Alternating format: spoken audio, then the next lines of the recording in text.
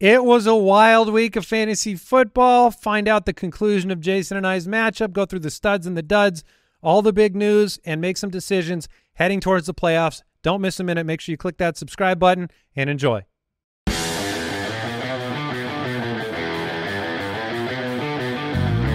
Welcome to the Fantasy Footballers Podcast with your hosts, Andy Holloway, Jason Moore, and Mike Wright.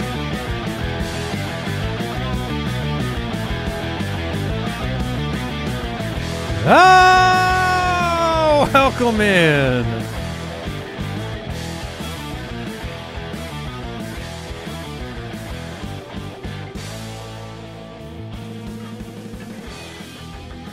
Contrary to popular opinion, the Megalodon episode was not our final episode.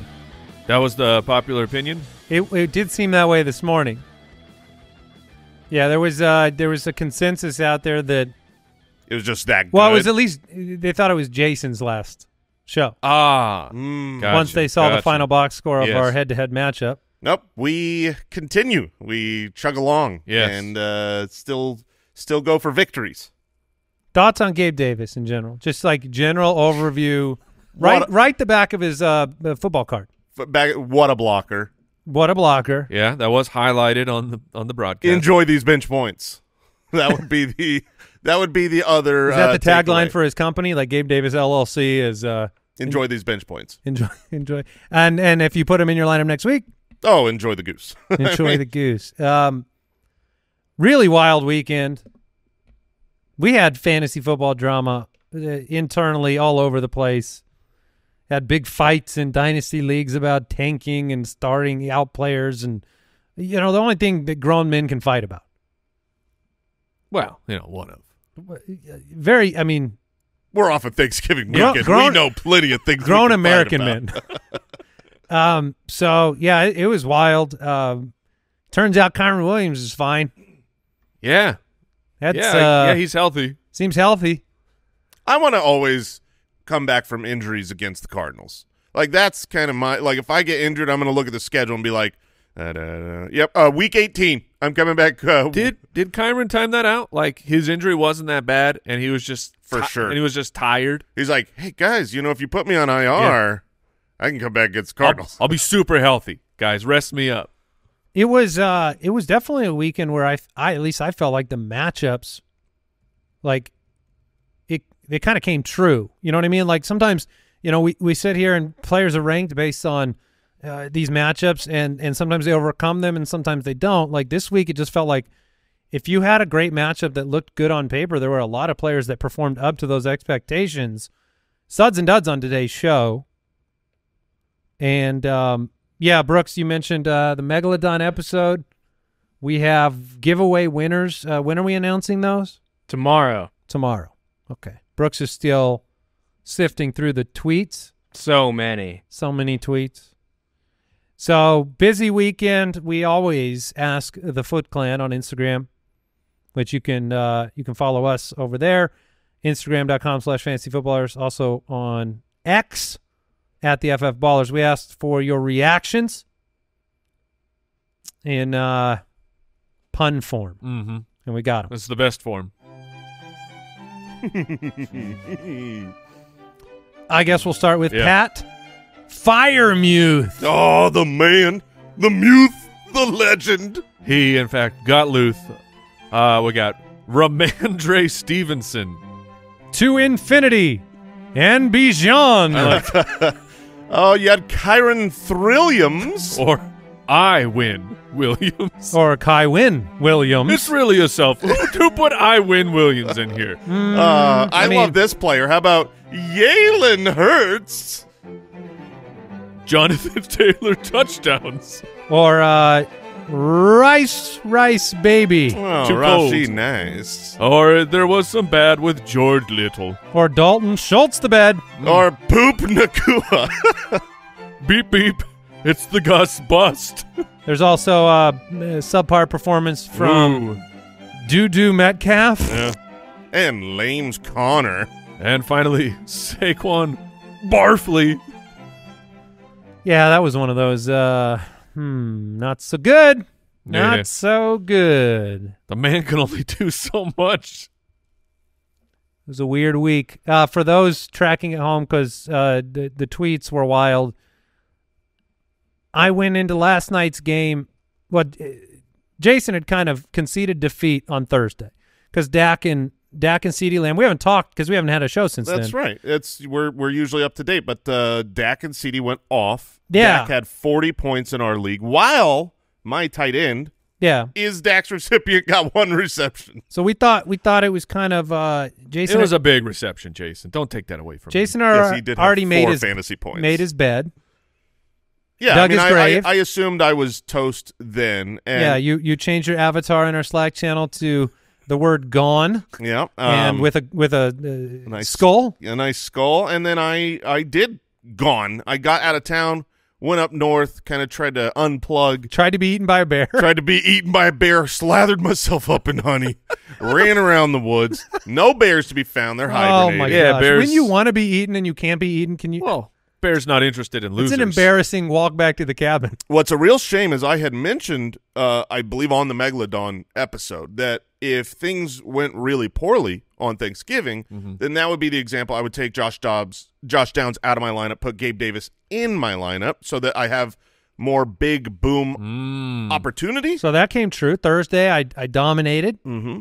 And then I got out of town, forgot to do that as I unplugged, and um, well, the rest of the week went like a roller coaster. There was one point in time where, t- towards the halfway halftime of of uh, yesterday's pre Sunday night game, which became Sunday night football, it was so late that uh, Bills Eagles The Bills game- Eagles game was unbelievable. It took forever. It was It was yeah. a great game, but it took forever. I thought it was Sunday night football. Like it was like it was pitch black out here. Yeah.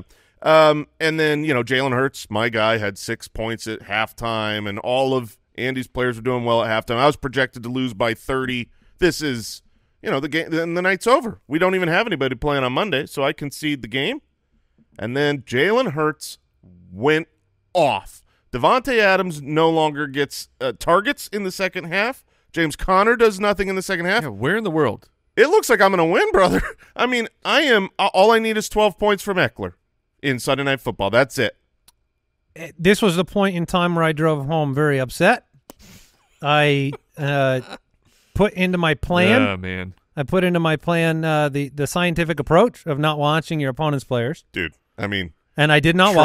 tried, true, Yeah. delivered. I sat outside by the fire It's peer reviewed now. and I contemplated my life choices and my career choices. Get a science journal. I would keep your career, Andy, because you won Austin Ekeler, which I'm very sad did not have a negative pun today. I would have really, really Yeah. enjoyed that. Um, but uh, yeah, Awful excrement.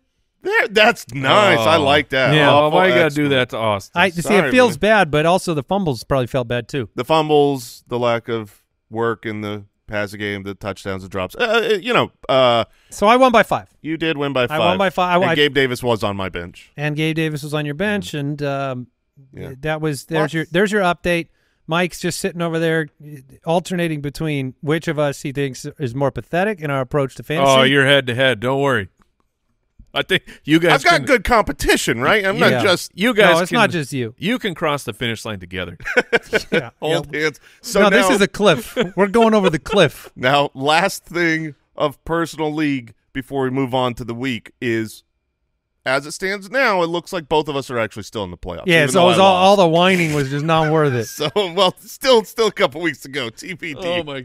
So we Mike- have more weeks. Yeah, you We got have more, more weeks, weeks. of this. Sorry, Oh, Foot Yeah, so um, there you go. There's your update. Uh, there's your puns. I mean, I, I asked the question this morning because we got some news like that we'll talk about as well. But how much money is Austin Ekeler losing right now? Because Yeah. he's going to be a free agent. He's going to be retired. Is that? I mean, do you genuinely believe that? Uh, Like, it, it, it really seems like he is a hurt, like It he's playing through injury. I think it depends on on Austin himself, the human, whether he wants to take a lower salaried veteran type thing to go be Committee. A, a committee back. If that's what he wants, he'll he'll get an offer with that. Uh, it seems like very unlikely that a team would go out and based on his great, incredible career at this stage, age, and running back financial landscape that they're going to go, hey, here's a nice big bada boom three year contract. Like it's just not to be a happen. starter. Yeah, no, that he, he's still this Austin Ekeler's way better than th- Michael Carter. This Austin Ekeler's way better than a bunch of the third down backs that get snaps here and there. If, like you said, he's willing to accept that. But from dynasty perspective, Yeah. did we get the cliff? Yeah, I mean he's one of the you know our main league is a keeper league. He is uh one of my keepers from this last season, and I'm not sure if he's going in that that lottery or not. We're gonna. I mean, we don't know who he plays for next year. That was the crazy part. Our our entire matchup maybe came down to the back and forth Ekeler Saquon situation. Both players stunk this week. Mike, how'd you do? You you have a good week? Uh, personally, no, yeah, no, professionally. no. Uh, professionally, we did all right. Yeah. Yeah, Yeah, starts the week we're okay. yeah, they did all right. Yeah, pretty nice. So uh, we got uh, big news to talk about. Yeah. News and notes from around the league. Presented by USAA Insurance. Well, the big news this morning: the Panthers fired head coach Frank Reich. Carolina is one in ten. Their owner, David Tepper, has now fired three head coaches, Mhm. including two mid-season. Yeah, back to back years.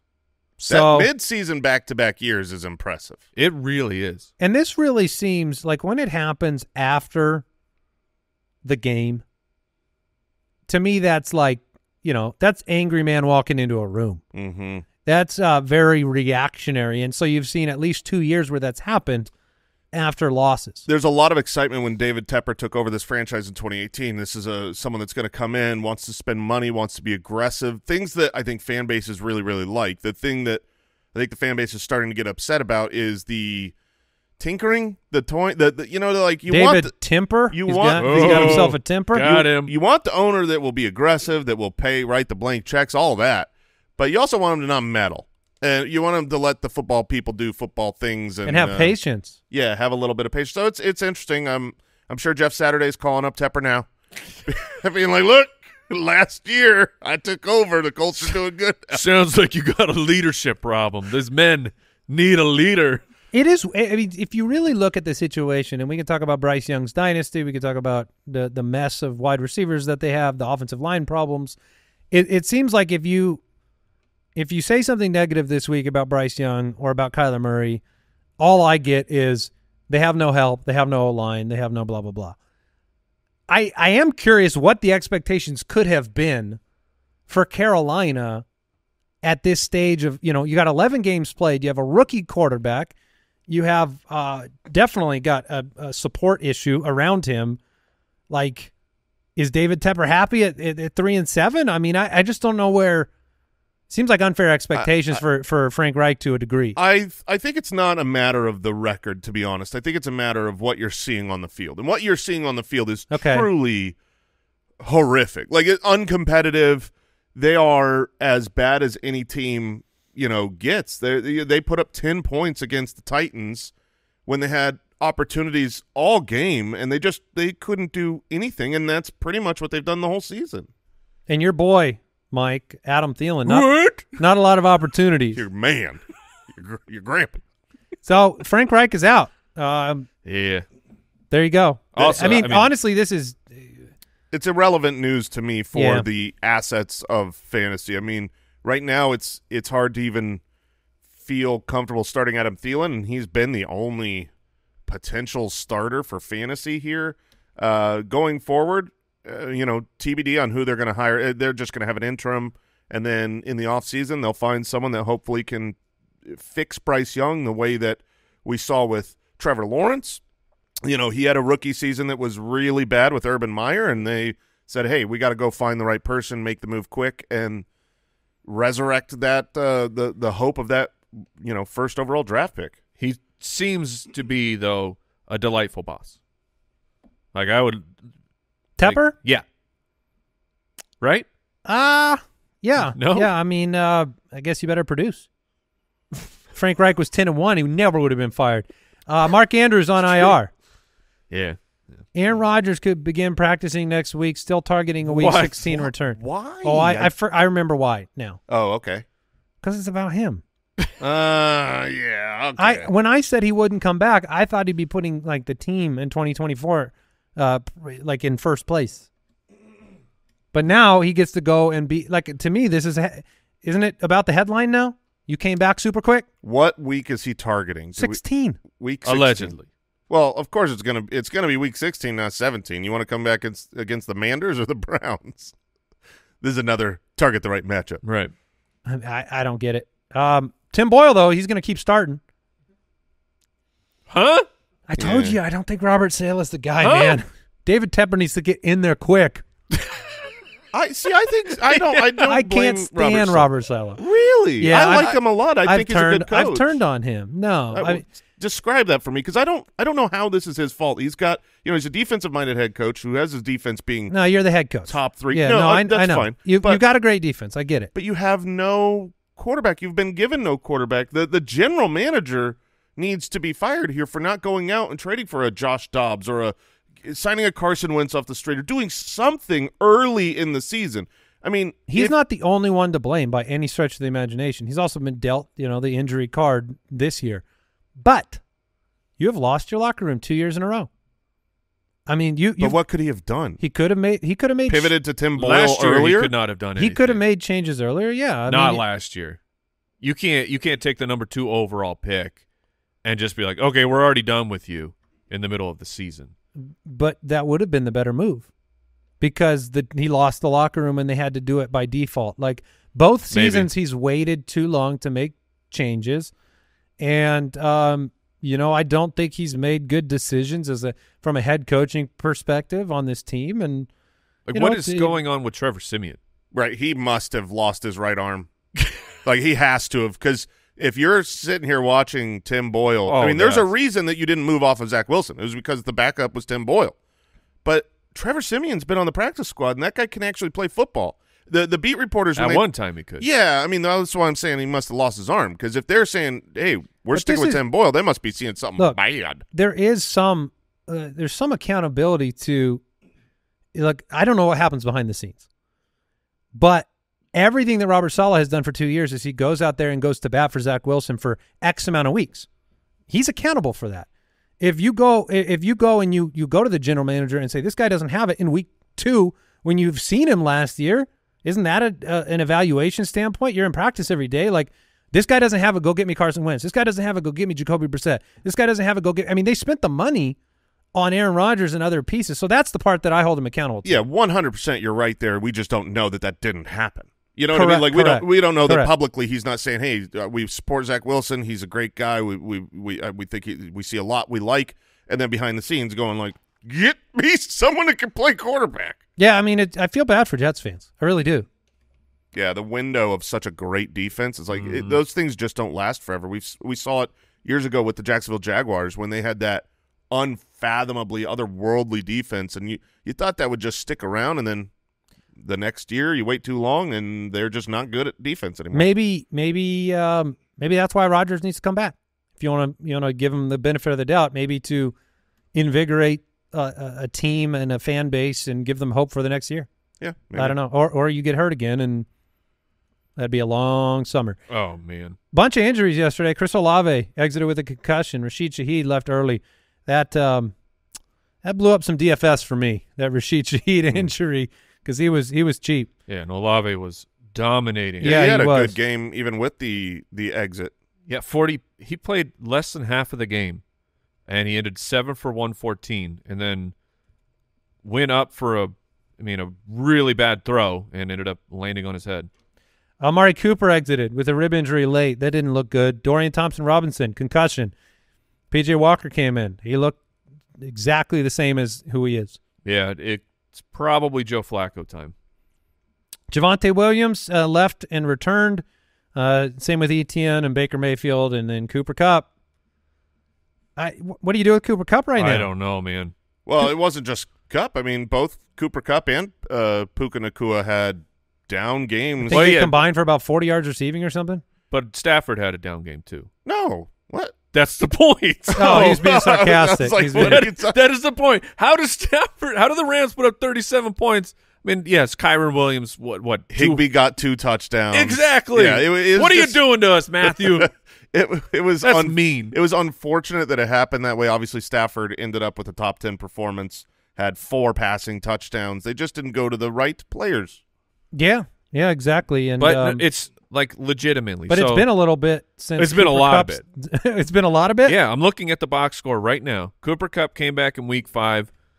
All was well, 118 yards. The next week against Arizona, 148 and a touchdown. But since then, 29 yards, 21. Those were both fully healthy games. N- well, not for Stafford. Week eight, Sure, yeah, week yeah, eight, but I'm- Stafford left in the middle of the game, and then week right, nine, but I'm. I'm just reading Cooper Kupp's numbers. The week after that was two for 48, 84% of the game. So most of the game. That's maybe he could have fixed it at the very end. And then another hurt game with 11 yards, and now another full game with 18 yards. Well, I, Look, you, you I don't know what you you were do. on Sunday Live on YouTube. Uh, I was in here listening, and and you gave the same advice that I would have given in your shoes, which is that when Cooper Kupp is active and you're facing I'm- Arizona, yeah, I'm playing him. like you have both sides of the coin here. You have the side where you're like, okay, Kyren Williams is back from injury. Just put the faith in the matchup off of an injury, mm-hmm. and he and he's the best player on the week. Then you have Cooper Kupp, who's one of the best receivers in football, if not the best, and coming off an injury, and you put the faith in the matchup, and it doesn't work out. And your quarterback had 229 yards and four passing touchdowns. And now you go. Uh, now, now you're playing against the Cleveland Browns, and so how do you have the confidence in Cooper Kupp, having had a, a bad month and a half, uh, partially with injury, but he's still he's still dealing with it. We saw him go out and into the game. Well, and they play Cleveland, Baltimore. Yeah, that's what Yeah, I mean. How yeah. how are you going to be able to be confident starting him? And You- how do you bench him? Well, I mean, I think, I mean, it's just it's an impossible situation. I mean, uh, you're going to have to make. How do you a- play him? How do you not play him? Yeah, how do you? Can you half play? I think you just you just cut him. You just I don't know. I can't handle this. this is your decision now. I, I like the idea of having a fantasy football league where it is all about the like mental peace of mind. Yeah, that's you it. just get rid of the most difficult decisions you have. You just cut them off the team. mm-hmm. You just play the most you're, pedestrian. you're someone else's problem. yeah, exactly. All right, that was today's news and notes presented by USAA Insurance. Learn more at usaa.com slash insurance. We're going to take a quick break and get into the studs and duds.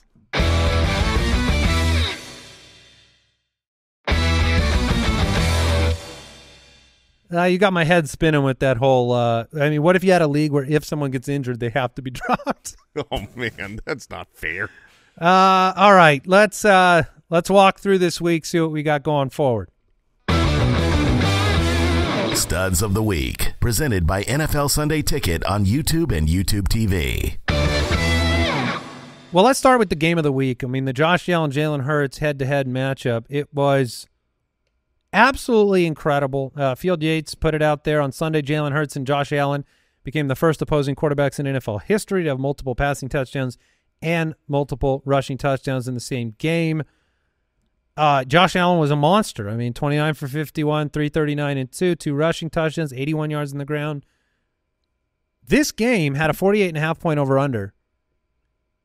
And when you got to halftime, you're like, That was, uh, that was toast. you're like, what is like all the hopes, all the dreams, all the expectations, all the DFS, all the, uh, you know, everything. Everything was super disappointing, and and there And was then- a reason for it. You had uh, awful weather. You know, th- this was a, a a rainy game where it didn't seem like anything was going to click, and you saw this the previous week with the Eagles and Kansas City. You had Mahomes versus Jalen Hurts in a weather rainy game, and it just never. You know, at the end of that game, you were still pretty disappointed. So this one was not one you saw the second half and overtime going the way it did, but it was pretty awesome for fantasy considering Dak Prescott threw for 331 and four touchdowns, and he's the quarterback three on the week. Yeah, I mean, Jalen Hurts, 18 for 31, 200 yards passing, three touchdowns, 14 for 65, two on the ground, including the game winner.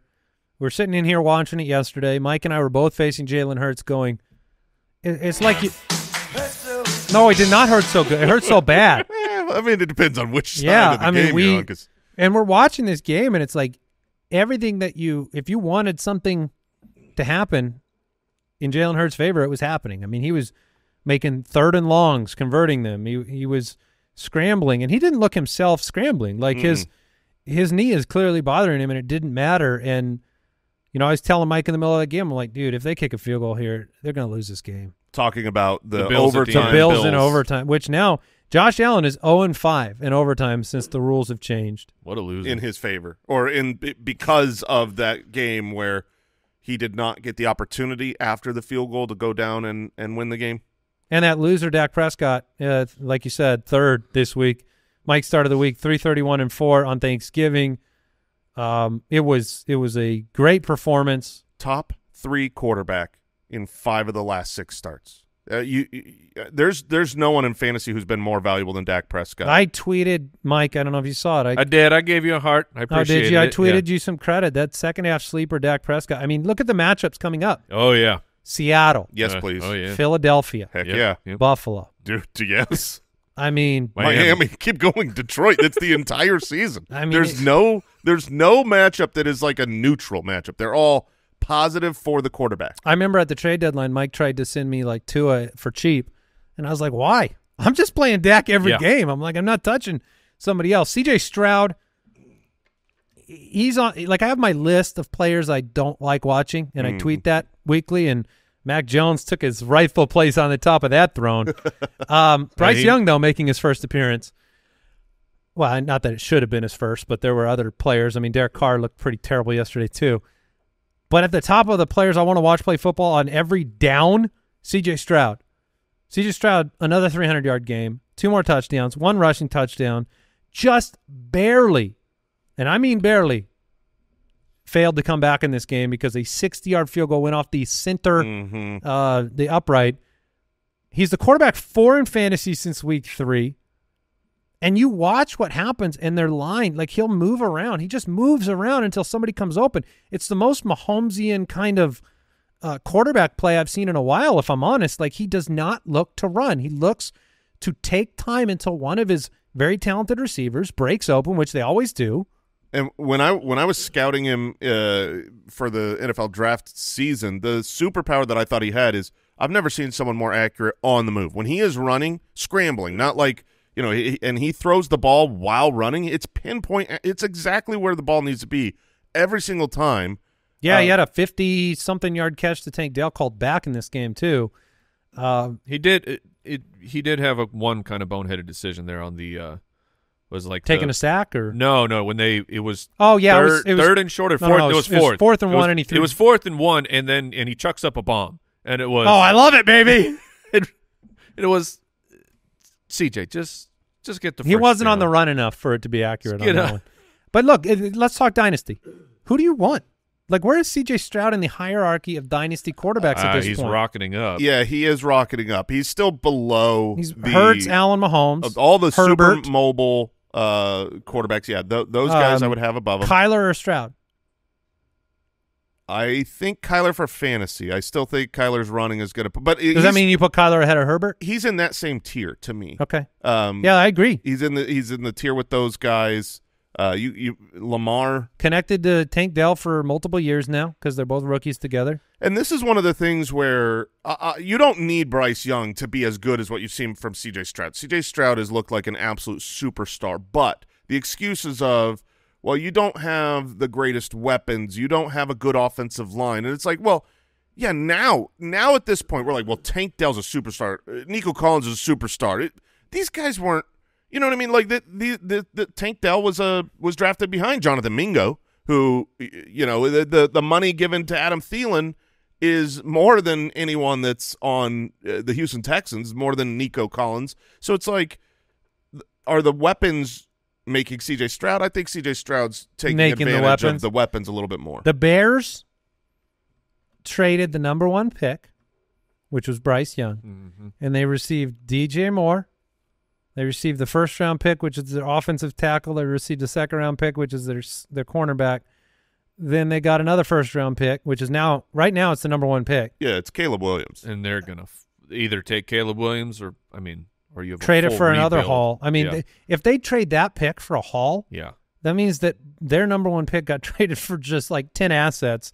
Oh, by the way, another second rounder in that mix as well. It's wild. Uh, when you play the game of quarterbacks and you lose, you die. Trevor Lawrence, another big game, thanks to the rushing touchdown on top of a passing touchdown. Uh, Calvin Ridley looks good right now with with uh, Zay Jones back. It was it was Although a- he did drop a wide open touchdown. he dropped a wide open touchdown and it was weird. I I'm pretty sure he had no yards in the first half. And like everything Calvin Ridley did was in the second. He's a he's a weird guy right now. Stafford had the big game. Let's talk running backs. Kyren Williams, 16 for 143 on the ground, 6 for 61, and 2 through the air. 200 yards. So that's where all the yards that Kupp and Nacua didn't get went. Uh, also, Higbee, two touchdowns. But Cleveland, Baltimore the next two weeks. So You're going to start him. Um, Yes. He he's uh, you know this isn't a this isn't a debatable. I'm not sure the matchup is bad. Let me look at who else I should have in there. Kyren is getting so much volume. Uh, he's a workhorse. He's looked great. I, I would not be benching Kyren. it is, uh, he has taken advantage of the best matchups, that's for sure. I mean, his last, ironically, the last two games he's played were against Arizona. There was the running back two and running back one. He was RB4 against the 49ers in week 2. Yes, yes, he was. Um, I believe he's, he's he was on a six touchdowns and six games streak in that run. So I'm not saying don't bench him. I'm just saying 37 points might not be in the cards for the next Oh, two no, it won't be. two weeks. Christian McCaffrey, 37 is- points is probably in the cards for him. every week for Christian. Philly doesn't matter. tough, is fun. tough matchup. Don't care. Yeah.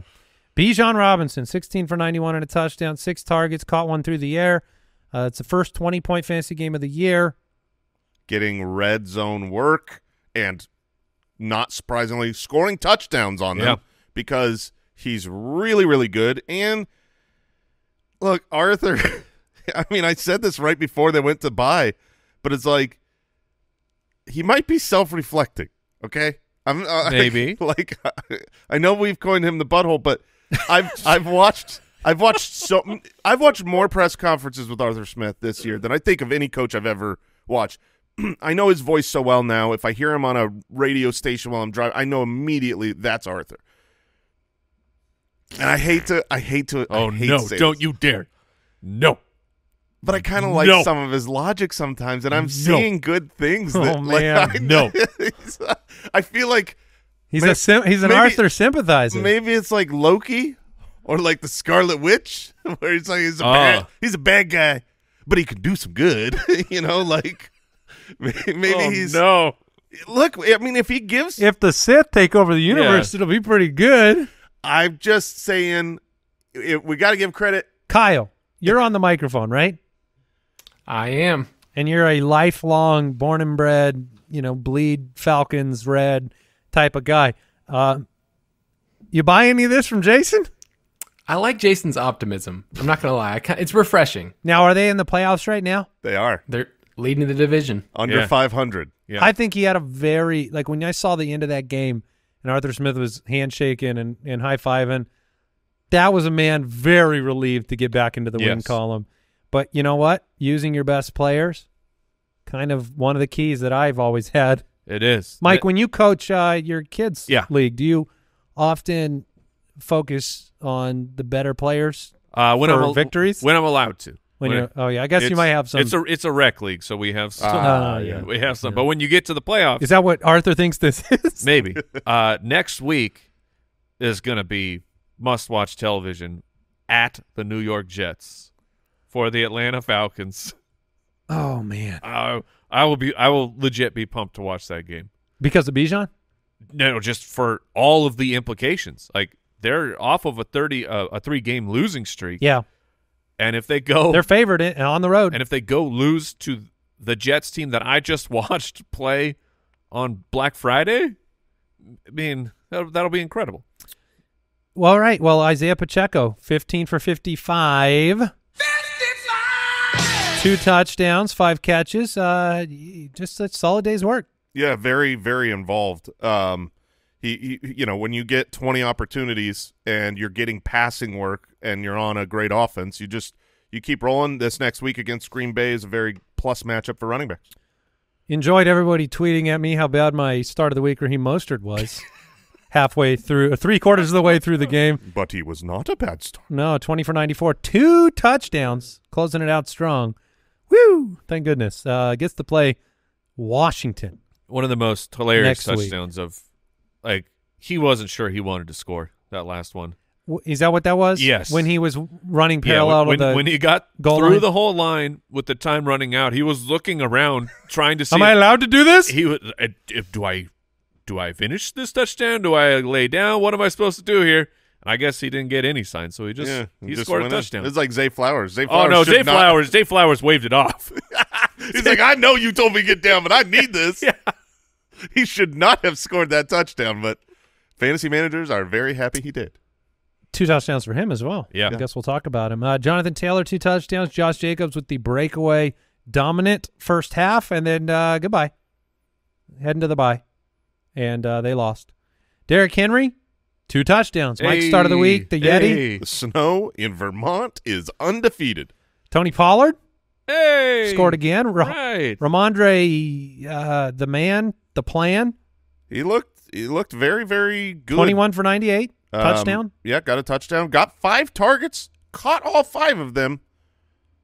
Did not get to ten receiving yards, but the the fact that that Stevenson put up the game that he put up with the amount of turnovers that the Patriots had from both of their quarterbacks, I mean, that's a that's a great game. There was a point yesterday morning. Mike and I were in the studio. Jason was out of town, and uh, six games are on. Oh, And we were we were it like was- a quarter through these games. Yeah. There had not been a touchdown. Mhm. There were, uh, I mean, Zappe and Mac Jones were taking turns throwing the worst interceptions you ever seen. Uh, Tommy DeVito was like trying to get his best sack posture in place before the hit. I mean, some gross football yesterday morning. You're- but, but winner, winner, Tommy DeVito. Winner, sorry. Yes. Chuba Hubbard had a, a monster What? game. Chuba. Chuba had five targets, five for 47. There was a lot of check down uh, Charlie stuff going on, 14 for 45 and a touchdown on the ground. In fact, Miles Sanders had more carries. So if you're looking at like what could change with the head coaching change, like you could see more Miles Sanders. He was awful, but you could see more. And then Najee Harris ended up Dude, 15 for 99 and a touchdown. The offense in Pittsburgh put up yards for the first time Yeah. in a long, long time. yeah, weird. Guess who they play next week? Oh no, for real? Are they Arizona? Arizona. Oh my goodness. So Najee and Warren, uh, shall we claim them as starts Yeah, of the week already? I'll go Najee. Uh, I'll take Warren. Uh, dang it. If you didn't see the run, yeah, Pittsburgh already favored by five and a half. If you did not see the Not enough. the the Najee run, where it's, I mean, it's an incredible highlight. It's the normal It thing. made no sense. No, no. He runs forward, gets a good gain, runs into the pile, and it becomes Big pile. It becomes the huge pile of I don't know, like ten guys all trying to push each other backwards or forward. The pile kind of moves, kind of moves, and then the the pile disintegrates. but remaining is Najee Harris, who then runs like another fifteen yards. It's like one of those cartoons, you know, when the cartoon uh, scram, like Yes. the fight happens, Yes. and it's a big dust pile, and then it keeps going, but somebody comes out the other end and just keeps going. Yeah, that's it's Najee. It was very funny. Uh, Mike Evans, two more touchdowns, six for 70. Is on fire. Almost had yeah. a third. I mean, before the week, he was the wide receiver seven on the year. What a great call. I'm very happy that that worked out. I mean, he's just been so consistent too. Uh, at this point in the year, he is. Uh, is he in double digit touchdown range yet? No, he's at nine. Nine.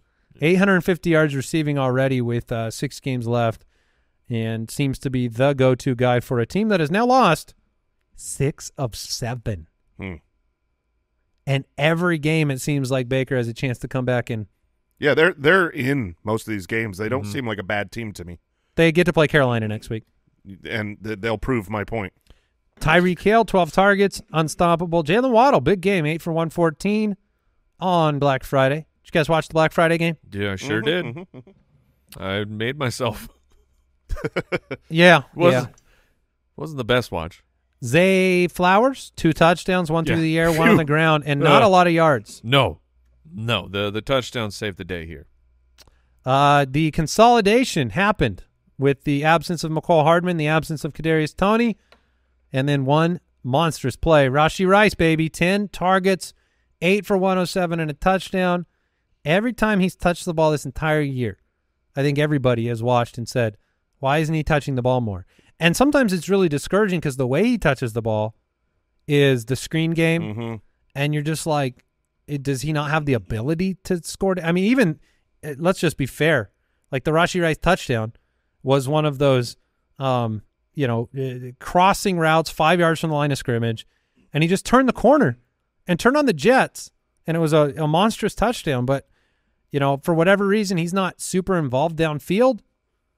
But when you take away some of the other options, I man, do- it I- paid paid a, big dividends. for dynasty um, and and for the rest of the season, the fact that he's not really used downfield as much as you would hope for, you know, a primary wide receiver, that gives him a, a, an easy and clear path of being upgraded for fantasy for just you know being more involved in the offense because he can. I, I don't believe that uh, we've seen anything that says he can't be used successfully down the field. We've seen a couple good deeper plays on the season. They're just manufacturing short yardage touches for not just him for the whole offense. I I'm really disappointed with. I mean, you can't can't argue too much. Uh, you know, they scored 31 points and they're still a great team, great offense. The Chiefs are, but I do feel like you look at all the stats post Tyreek Hill leaving, and it's like Patrick Mahomes is just everything is a check down, everything Well, is a screen, everything is an underneath, shorter than 15 yards. It's like why Let's have the discussion because you're going to have. I mean, you bring up a good point, Jason. He has Patrick Mahomes has two games where he has finished inside the top six. Okay, two out of twelve, or I'm sorry, two out of eleven games. Yeah. Uh, even this past week, you finished at quarterback eight, which is fine, but it's 20 points. 16, 15, 5, 33. That was great against the Chargers. 17, 19, 13, 25, 21, 19. Do you have confidence? Because you always have. Do you have confidence going into your fantasy playoffs locking Mahomes into your lineup? Hmm. That's I think it's a really hard question. i- it's tough because to bench Mahomes, you would have to have high level of confidence in the replacement. So It's like if gotta you be had, like Dak. if you had picked up Dak, I think the only other name I can think There of, is another one. Yeah. the only other name I could think of that's like you could easily have him available Sure. CJ is CJ. Stroud. Because CJ Stroud's just been way better for fantasy. I was in a league uh, where a few weeks ago the manager had Mahomes and Stroud. Offered me Stroud at the time. I turned the trade down. Offered me Mahomes instead. Took the trade. Whoops. Whoops. Maybe, maybe, maybe whoops. Yeah. Their defense is is very good. Um, They're also just they're their not fantasy playoffs are New England, in New England, then Las Vegas and Cincinnati. they're not scoring the way they usually Las do. Vegas is not a great matchup for quarterbacks usually. Cincinnati is a great matchup. What was the first week New of the England. playoffs? New England's fine. New In England New England. just stinks. Uh, if you want to see CJ Stroud's, you're talking about at Tennessee, which is a, a very good matchup for quarterbacks. Then Cleveland, um, Hmm. not good, and then of course Tennessee again because that Texans The-. Titans. I think what you what you're lacking are the battles. I mean, the the Charger game was much more of a, you know, like we saw with Philadelphia and Buffalo. But you're not having teams put up big points against them, and That's my worry. like Uh, that's after, the concern I have. After week three, I started talking about I've got massive worry about Mahomes because this defense is legit, and they if he doesn't get into shootouts, the like he can go out and put up forty fantasy points. We know that, but he might not need to, and they might just say, "Hey, let me give Pacheco another fifteen uh, carries." And five dump offs, and those dump offs they go a little bit to Mahomes, but they're not going to score as much. They they keep the clock moving. They keep the Chiefs winning. They don't put points up for fantasy the same way. DeVonta Smith seven for 106 and a touchdown. Nico Collins and Tank Dell. Uh, Nico did the work in the second half. Tank Dell did the work in the first half. Both scored. Uh, I couldn't believe Tank Dell seemed like he was going to end the game with 700 yards and 12 touchdowns the way it started, but he did disappear the second half. it was very troubling. I had a lot of players disappear and not even perform in the second half.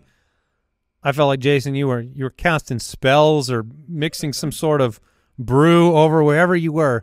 They you just stopped all the second halves, I genuinely, by that point, I all hope had been lost. Like I wasn't, I didn't even care at that point. I wasn't even like hopeful. I was just like, okay, let's move on to next week. Uh, Gabe Davis, seven, six for 105 and a touchdown. He's back, baby. Shove him in your lineups. Just kidding. He's on bye. Um, yeah, thank goodness. Uh, Stefon Diggs, six for 74 and a thank touchdown. Goodness. Thank goodness. Bye week is the favorite. It's my favorite week to have Gabe Davis on my roster, Oh man. which I would he- never, I would if- never do. If he was starting next week, like that's so, People will chase that. Oh, I will chase. I'm like, no, I can't do it. I'm so happy he's on bye. Hey, Who? He does. When he are shows you actually happy? Like I'm genuinely happy that my player is unavailable. that makes That's ridiculous. Yeah. Calvin Ridley, big game. Debo, nice game. It was cool to see. Uh, Watson, five for 94 and a touchdown. This one made sense to me just because you had some injuries at the wide receiver room, but nice to see it I, happen. I mean, I get that. I, what didn't make sense was the Packers dominating, Thr- yeah, just, just, absolutely throttling the Lions. I mean, that was a shock. What is going on with Jared Goff? Yeah. He he hasn't looked great. He was thinking two. about that turkey and gravy. Maybe. He, his mind was not in the game. I mean, two weeks ago you had the three, the three pick game against I think it was the Bears, and they were horrifically bad. And then at home. and then the whole first half, Jared Goff looked like he totally forgot how to play quarterback. Like it was a very very strange situation. Michael Pittman, Hmm. 13 targets, Hmm. 10 for 107. Also, update. Hmm. Had I made that trade and put Michael Pittman over Josh Downs, I also win. Yeah. So, Yeah. well, but to be fair to myself, I told you I regretted it Yeah. way before this. I said I was wrong, and I and and I was just proven. uh, that's that's why I only said hmm. if you could go back, If I could go back, I would take the trade and I would win. But I would have Michael Pittman. Well, I'm a dummy. uh, Keenan Such Allen. an idiot. Why didn't I do it? All, Mike Mike might pay more attention to his vindictive stat tracking than he does his own team. Yeah. Over the course Who of the- doesn't? Way more fun. as a, over the course of the weekend, we're like, Mike was turned down on multiple Pittman trades, and he's just tracking each of those teams' scores to see the player they chose to go with over Yeah. Pittman. Whether it wasn't just you, I mean, he was tracking Yeah. another guy in our league oh man, just Dude, to see if he could dunk on him. it's my start of the week, and also going up against Tennessee, Cincinnati, Pittsburgh the next three weeks.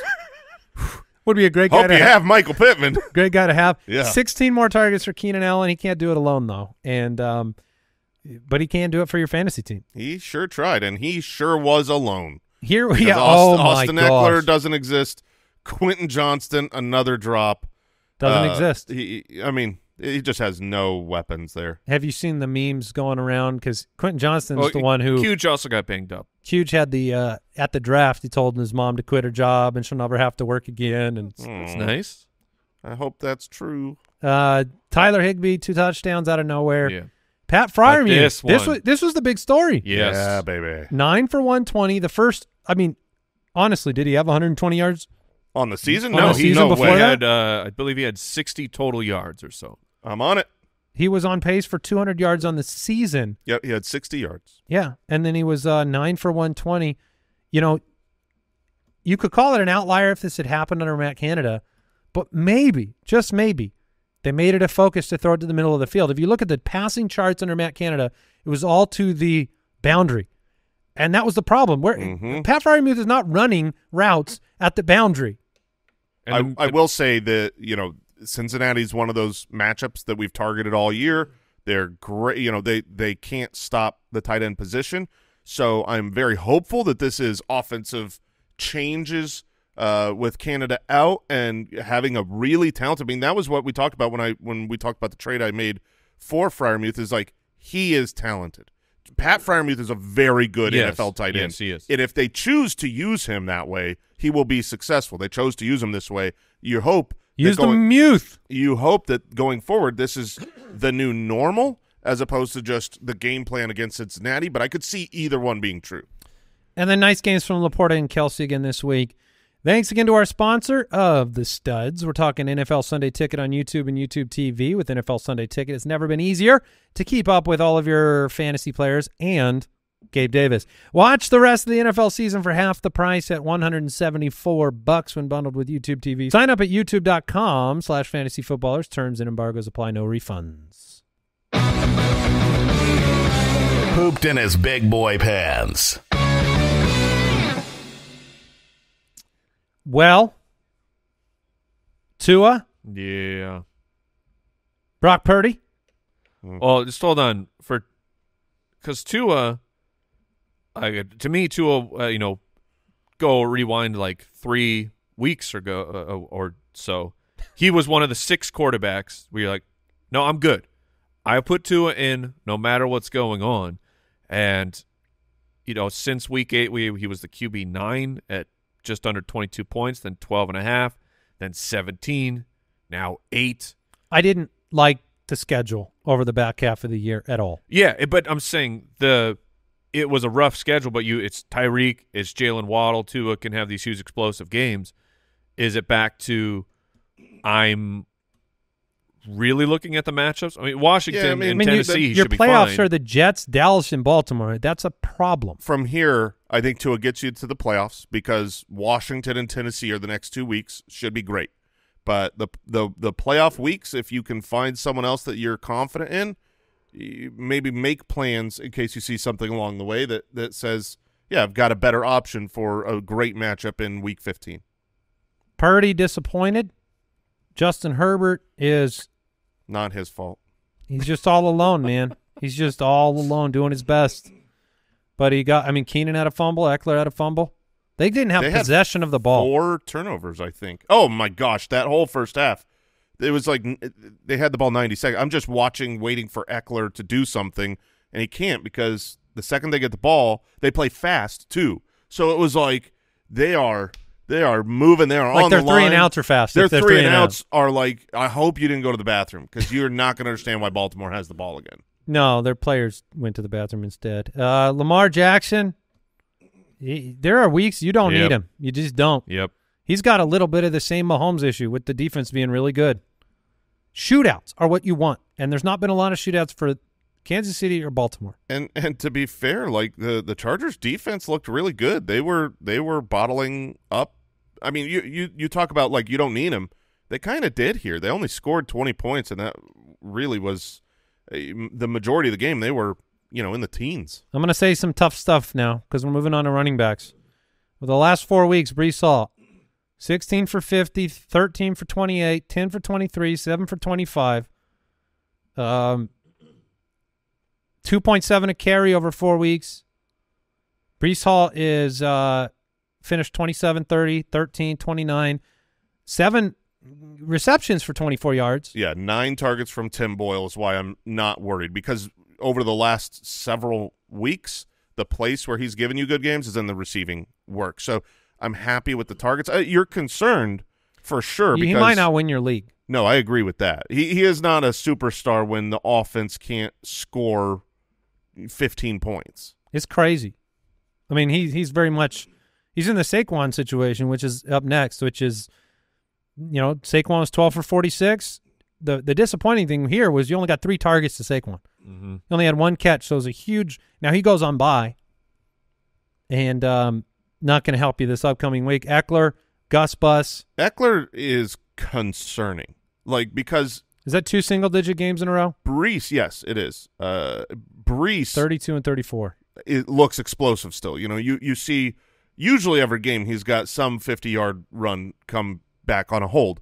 Um but he you know, he looks the part. He's just usually got five guys around him. Ekeler right now looks like something is wrong. He does not look explosive or His yards special. per carry down four from four point five to three point eight.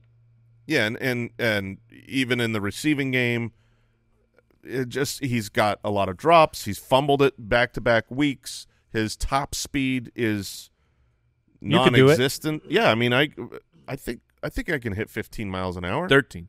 no, no, no. That's what I'm saying. Oh. I think I can You hit. think you can beat him? right? I mean, not in general, but like right now with whatever's going on with him, uh, it's it's really concerning. I mean, the next couple weeks, are you? What do you do with? Do you? I feel like you're stuck playing him. Yeah, I mean, the snap count him. was at least at 80%. But there are a handful of these running backs you don't know what to do with. I mean, this next guy, I, I am flabbergasted. I have no compre James Conner. James Conner went 6 for 27 in this game. Okay? He had four catches for five yards. James Conner played the same snaps that Michael Carter played. James Conner had six carries, and and Kyler Murray passed the ball 45 times. James Conner, I didn't see him on the field in the second half. I'm sure he was there maybe once or twice, but he only- legitimately had no carries. He only played 42% of the snaps, and it seems like right now with the system, he is not the – if you're down a lot, he's not that guy. I mean, that is he's got Pittsburgh and then the bye week. Pittsburgh in Pittsburgh. When they, yeah, they just didn't go to running backs. Can This you is a- play him? This is a Yeah. tweet from Jared Smola. Uh, this I guess was this was through the first three quarters of Week 12. Conner was six carries, four targets. Demercado was three carries. Michael Carter was one carry. I mean, they just they were not utilizing the position. But but that is a, a fundamental change from what happened at the end of last year, where he was on the field all the time, and he caught the ball better. He literally was. I mean, I think when you watch the games last year, with the volume in the receiving game and the quality of receptions, he was one of the best pass catching running backs in football. And now the team is saying, "I've I've drawn up third down for Demercado and Michael Carter." I mean, he still had five targets in this game, which is great for a running back. Um, I, I think you you don't know how much of the fourth quarter being really really down and out was protection was oh it's uh, you know you're not our two minute drill guy. I don't know. But going on the road to Pittsburgh that is not an offense that scares me. I know that Arizona has a bad defense and they are the the you know the cure to a lot of woes out there but I think James Conner's a fine play this coming week. Pittsburgh's not been phenomenal against the run. So, uh, okay, okay, yeah, it was. As somebody who was watching for something from James Conner, it was a, it was a tough one to to watch, but I hope you're right. I hope he's involved. I this team has got the second pick in the draft right now, and I just wonder if they're working other guys out or what. But Joe Mixon, Oh, Cincinnati. this was a monstrous dud of a game. Cincinnati is broken. Uh, if you didn't watch the game and you're just only looking at like Ja'Marr Chase's stat line, you're like, okay, I can live with that. Uh, Two tip passes. yeah, Ja'Marr uh, over over half of his production was on two Accidental. tip, passes. So, uh, it's it's gonna be bad. it's gonna be bad. yeah, yeah. Uh, Zach Sharba, meh. yeah, Sharbust I mean he His volume was He's- yes. fantastic. Four targets, 14 carries, 88% in snaps. He led all NFL running backs. It was exactly what you want. Um, it wasn't efficient, effective, great for fantasy. It was against the San Francisco 49ers. So you go, well, how much of that was just, hey, you're facing a great defense? Or You mean much like is, Dallas or San Francisco or Philadelphia the next three weeks? Right. Yeah, that's the next but month. just like th- those last two guys. Next week, would you rather play Mixon against the Jags or Charbonnet against Dallas? Charbonnet. And I would go Charbonnet. I'd play Mixon. Okay. Charbonnet has had a a very interesting ability to have a lot of snaps and no production. Yeah, but Even his- when Walker was there. When Walker was there, he was getting a lot of snaps, but not a lot of opportunities, not touching Mm-hmm. the ball. And now the opportunities are actually up 21 last week, 18 this past week. Uh, I'm going to take that volume and the chance that Seattle scores more than the chance that the Browning led Bengals score. Okay, I think that's a tight one. Yeah, it's. You it's- got- is it tight I for don't you want to no? start either. Yeah. Wide receiver duds, we talked about it. Cooper Kupp, Puka Nacua. Um, Cleveland, Baltimore coming up. It's going to be tough. Uh, DK Metcalf, nine targets, back to uh, a subpar game.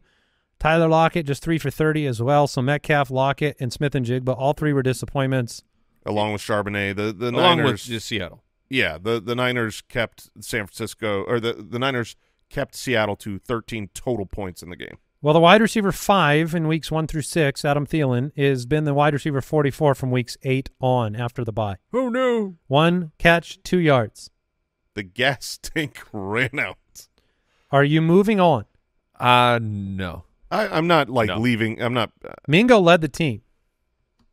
Yeah. I'm not dropping him, but um, I'm fine looking at. you Yeah. know, It was you know, Waiting. last week. He was at 11 targets, eight for 74 against Dallas. DeAndre Hopkins, Amari Cooper, both huge disappointing weeks. Cooper can't do much right now, and now he's hurt. man, Banana Rama got us. He got us so good. Will Levis, you sneaky snook. I mean, you, you you come out that first week when no one was Guns prepared blazing. for Yeah. you, and But you were out like, of ammo. Yeah, you. I mean, you you made everyone who said you were not good and gonna be bad, like Yeah. we did, look so foolish that first week because it was like, oh man, But I he's on a winning streak now. I guess, yeah, yeah. Play Carolina more. Um, yeah, he's not good. Uh, Terry McLaurin uh, continues to disappoint. Diontae Johnson, four for 50. Still thought he had a touchdown. I think he had a touchdown. I mean, that was. In college, no, it was yeah. I mean, we're talking about the back of the end zone one. yeah, Uh, you got to survive the ground. But to me, it looked like he had caught it, was turning, and then got pushed to the ground. Yeah, it looked like a how I saw fu- like a fumble was caused by the defender after three steps. I don't. Obviously, we're wrong. Yep. It wasn't a catch. Josh Downs had 13 targets. Um, he had some drops. He had some way off target targets, and he ended up five for 43. It's a shame. What a bummer. He's still probably a good Would you have won? forward. Would you have won with Hollywood? I don't think so, but I didn't look at Like- that because like- he wasn't actually in just- consideration. I was, I was literally. I, I, told was just you curious this if like morning. all your bench wide receivers would have won you the game. I, uh, I, I told you this morning. My plan was to put in Gabe Davis I over checked- Josh Downs. Yeah. That, I that was your, what I meant I checked your team every single day, expecting to see that happen. and I went to the cabin for the Thanksgiving weekend and lost. You dummy. Yeah. Whoops. Uh, tight ends that let you down. Dalton Schultz just one for two. George Kittle, three for nineteen. This Jake, is what he does. Jake Ferguson, one for thirty-five. Uh, Mister non-existent in the second half. Dalton Dalton Kincaid had six targets, five for thirty-eight, and then they didn't use him again. Yeah, he looked really And he was good out there on game. every play. He looked really good. Like the the 5 for 38 he got, I thought was was really nice. He got overthrown on one of those passes that he, you know, it wasn't his fault and looked good and then disappeared. But it, all while Buffalo scoring and doing great, so you can't really criticize it. Uh, they go into the bye. Is that true? Yeah. Yeah, Gabe Davis. Davis. Remember? Oh yeah, yeah. Isaiah Likely, four for forty. Eh, I'm, I'm, taking that off. yeah, of I'm the ta- list. take that out. I boo that. Take that. That's fine. Waiver wire four for forty. Yeah, that's fine. That's six points. That's eh. fine, Brooks. We'll take it out. Take it out, Brooks. J- It's not likely mad. to win you a week, No, it isn't. but it's not likely to lose you one either. Yeah, I mean, you. I mean, it's, it's certainly not. Oh, like you would have lost by 0.84 if you played Hollywood. Oh, all right. Good. Okay. Crazy.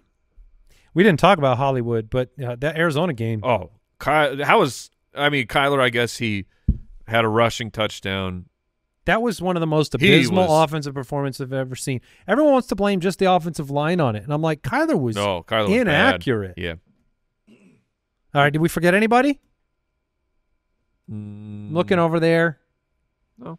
I mean, who knows? If we forgot him, we we will never know. All right, we have a waivers show tomorrow. So uh, make sure you tune in. If you want to do something to help the show out, make sure you click that uh, follow button on Apple Podcasts, on Spotify. You can check out the community at jointhefoot.com. Lots of perks over there for people supporting the show. And, uh, you know, keep fighting for those playoff spots. We'll be here to help you out. That'll do it for today's episode of the podcast. For Andy, Mike, and Jason, thank you for joining us. Catch you tomorrow. Goodbye.